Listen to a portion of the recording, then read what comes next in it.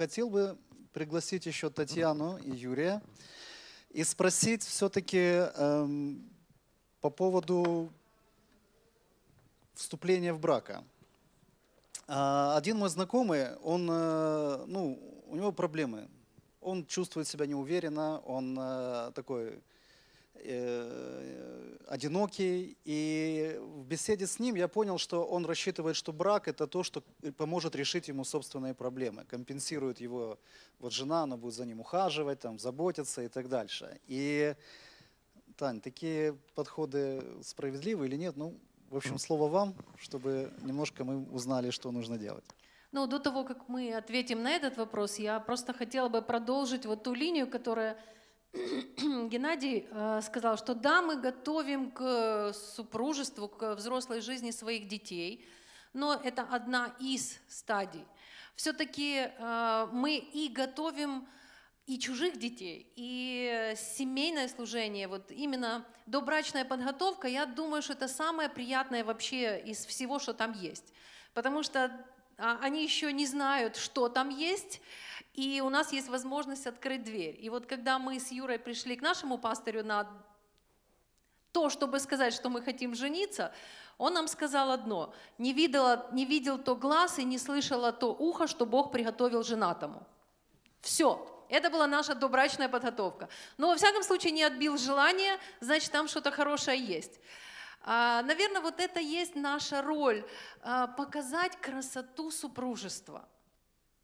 Да, проблемы, и сзади проблемы, впереди проблемы, но показать красоту супружества, то, что Бог сделал. И у нас есть две цели.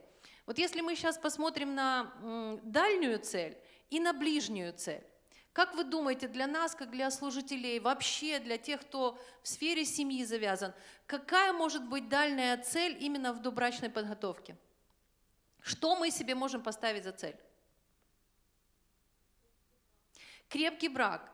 В какой форме мы можем практически это сделать через там, пять лет? Именно через добрачную подготовку. Во-первых, вырастить тех, кто будут делать. Для Украины вот это мизер, этого мало. Нам нужно больше людей, семей, которые смогут это делать. Я уверена, что они в зале тоже есть. Еще. Каким образом хотя бы в христианской среде это сделать? Начнем с этого. То есть это добрачная подготовка подготавливать. А что делать, ну как бы как сделать так, чтобы она была везде? Возьмем сначала церкви, потом мы придем чуть-чуть дальше к школам.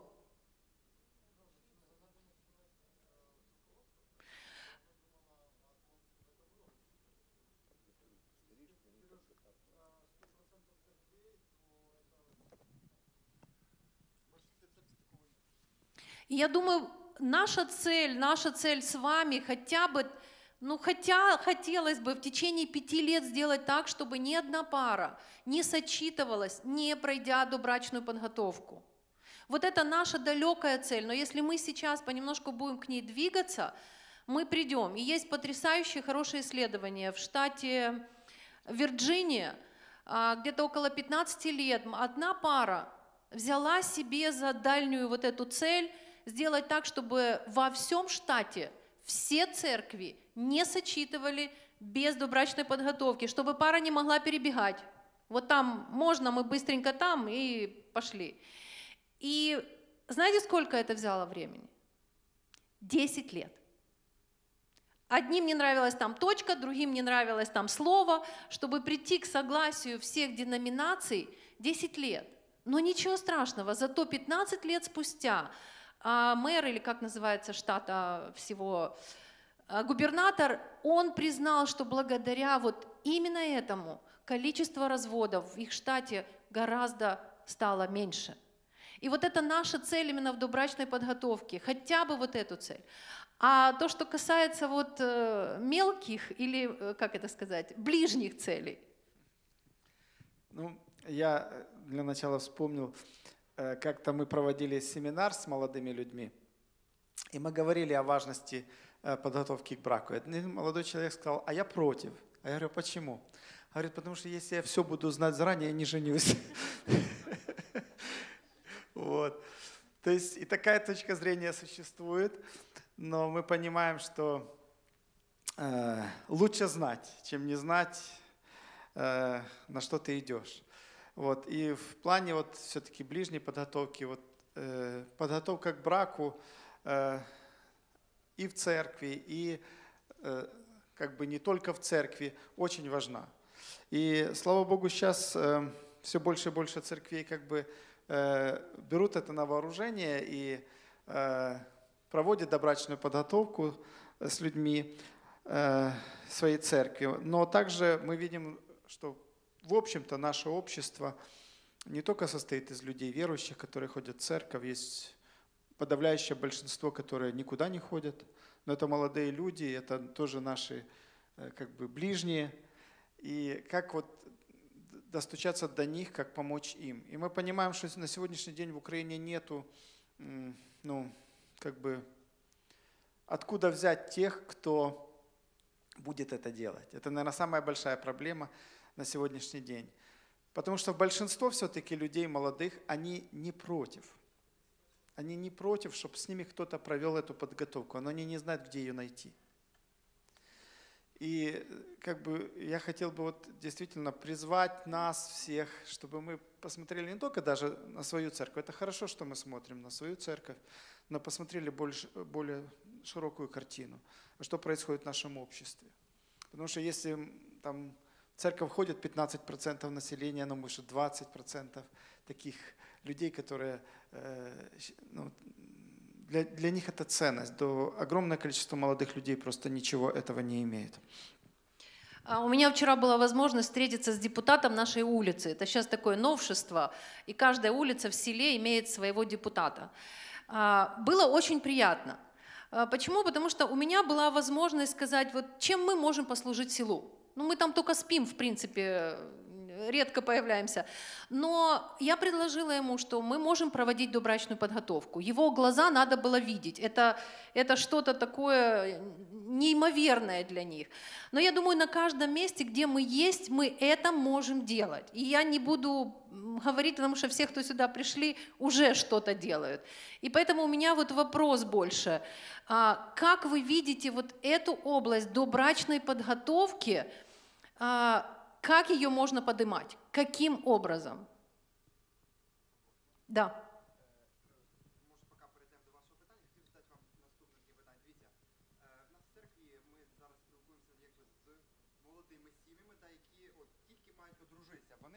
Підготовку, і коли ми з ними спілкуємося, ми розуміємо один такий момент, що в людей просто розві окуляри, не дивлячись на те, що вони проходять підготовку там 8-9 занять. І е, після свадьби, відповідно, люди десь пропадають. Їх ніде немає, взагалі ніде немає. Да? І якби ми якби думаємо, як е, і що ну, що тоді, що тоді залежить? Що тоді залежить, получать, чому так? Підготовку люди пройшли, все нормально, але людей нема. Що сталося? Э, очень хорошо. Э, и мы только на этот ответим, потому что в основном вопросы будут потом. После добрачной подготовки она должна идти в связке. Добрачная подготовка не панацея.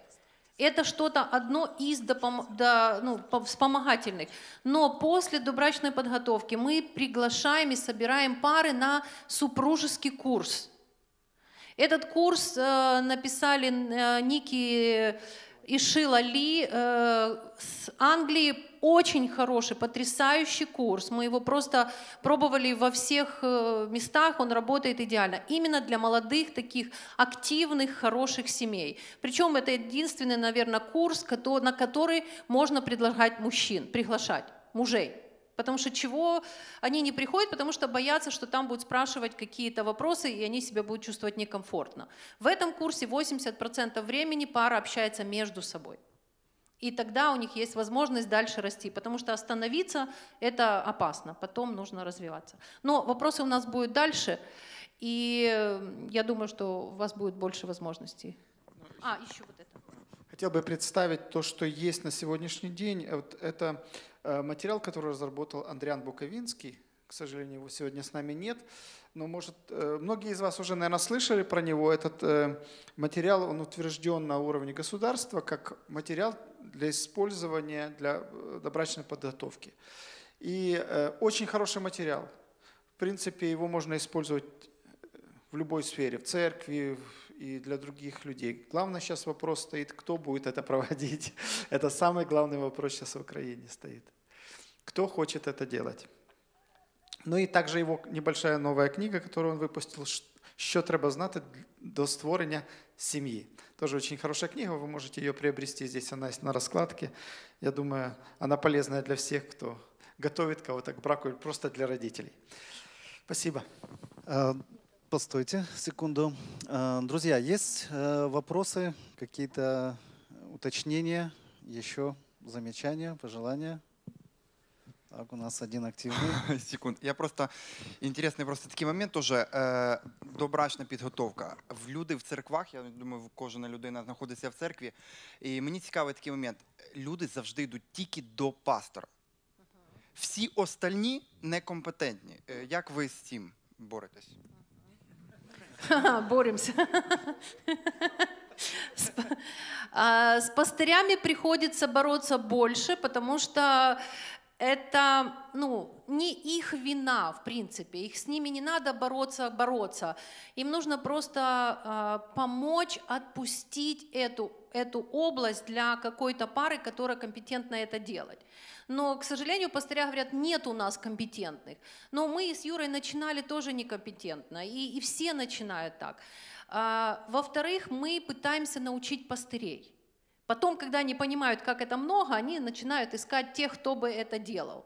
Но это проблемный вопрос, и пока он решается снизу. Мы вдохновляем пары, мы даем им материал, мы их э, оснащаем, и они уже пытаются на уровне «а приходите к нам домой».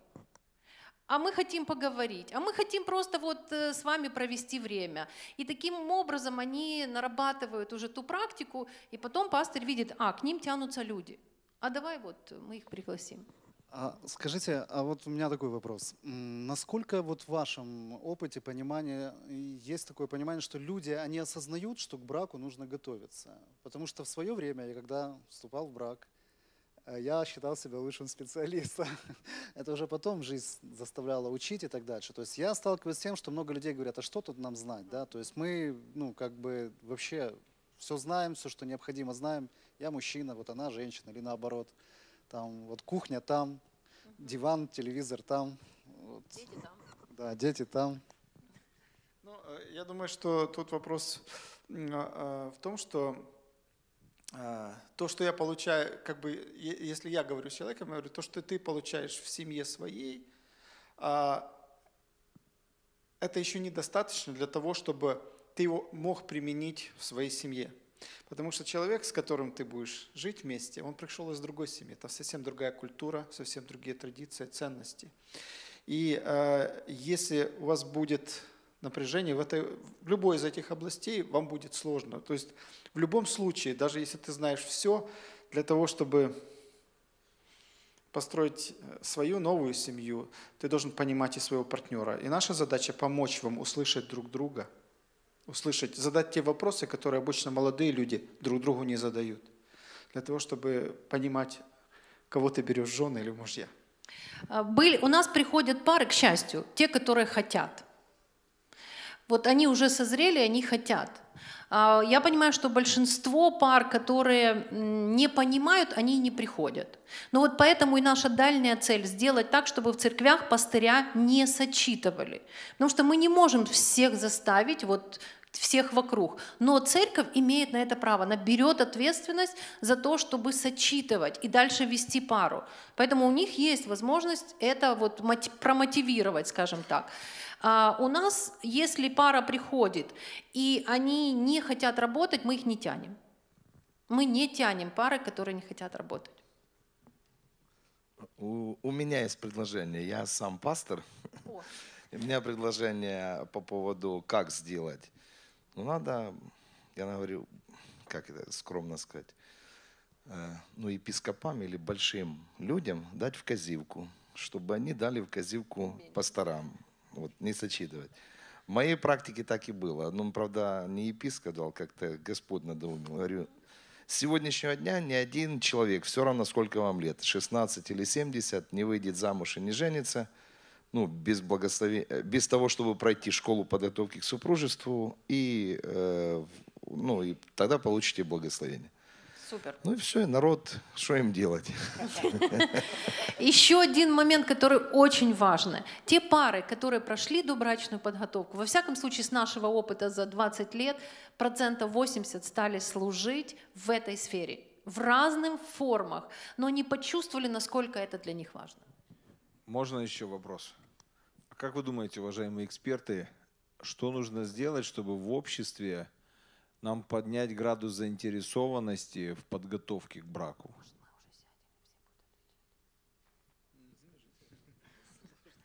Поднять градус э, заинтересованности. Статистика немножко взбадривает. Вы знаете, сколько в Украине счастливых семей? Процентов. Кто знает, молчите. Ну вот обязательно. По Адриану Буковинскому, по исследованиям, которые он проводил по Украине, у нас 7% счастливых семей. 7%. А, ну да, если с этой стороны смотреть, то у нас все хорошо. А, ну вот э, статистика немножко взбадривает то, что нам нужно а, умножить это число счастливых семей. По-моему, уже нет человека, который бы не понимал, что в этом есть нужда. Тут уже даже доказывать особо не нужно. Как Юра говорит, основная проблема – это найти тех, кто заполнит эту нишу, кто сможет, кто захочет подготавливать пары, вот как Гена говорил, у себя дома своих детей, потом там, где ты есть, и на дальнюю перспективу изменить в Украине ситуацию. Вот э, у нас уже есть все для того, чтобы это было. Поэтому я думаю, обучение людей здесь задача номер один.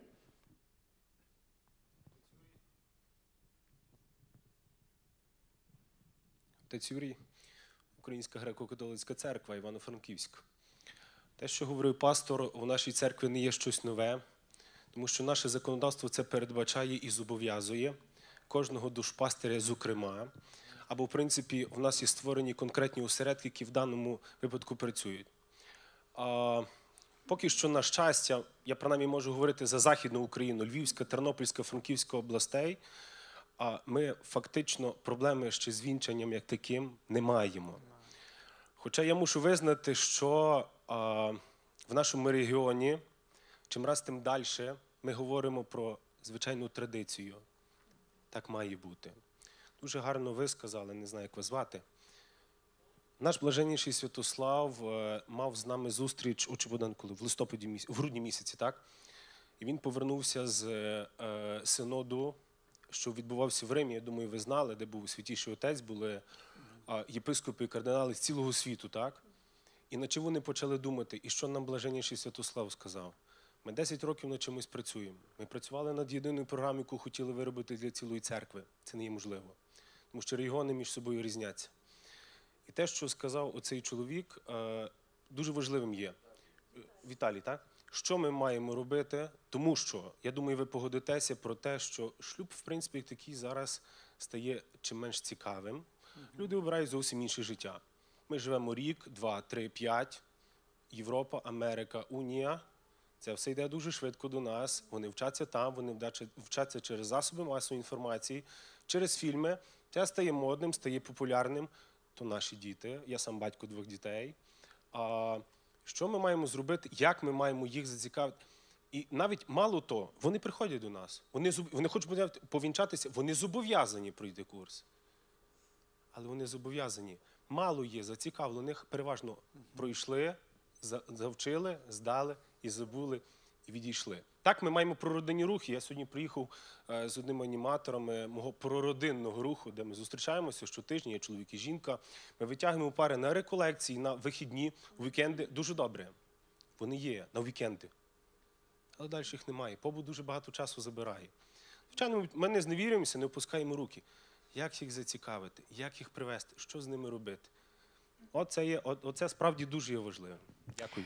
У меня есть маленький ответ, может быть, он не совсем под такую большую проблему подходит, но нужно заинтересовать мужчин. Если приходит мужчина, если приходит муж, жена на крыльях полетит, куда бы он ни шел. И у нас тут проблема не столько вот как заинтересовать семью семьей, а именно как вот достучаться до мужчин, как, как их заинтересовать, не знаю, едой, спортом. Я не знаю, вот как сделать так, чтобы их смотивировать а, прийти или заинтересоваться этой темой. Я понимаю, что это только маленькая-маленькая часть этого большого глобального, но вот там, где она есть, начинает что-то меняться. Я не знаю. Нет, мы знаем, как своих мужчин заинтересовать, а вот как вас э, всех заинтересовать, увидеть эту ценность, это уже... Это одно из, да. А потом уже жена, жена сделает так, что он заинтересуется и, и всей семьей. Но если мужчина почувствует в этом, вот как вы сказали, что-то хорошее, а не только проблемы, а не только разборки, а не только какие-то вещи, которые так его напрягают каждый день, то немножко больше заинтересованность, наверное, будет. Да, я хотела просто ответить на первый вопрос, который был, а как мы можем а, решить проблему церковь, когда у нас нет достаточно людей, которые а, компетентны это сделать. А, что мы сделали в нашей церкви, когда они спросили нам а, помогать первая пара, а потом через несколько недель было два-три пары еще. Мы сразу поняли, что мы не можем помогать все пары.